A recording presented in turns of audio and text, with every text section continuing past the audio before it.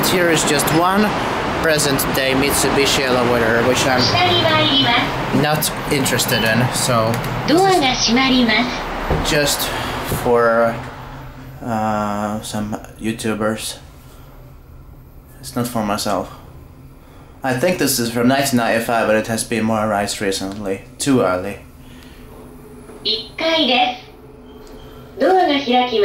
And it's on Odaiba.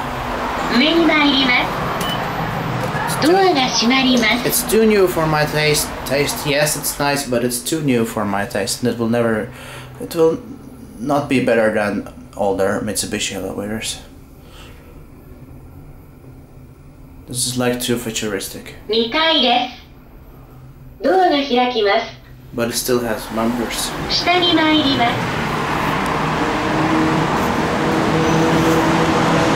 Anyway, that's it.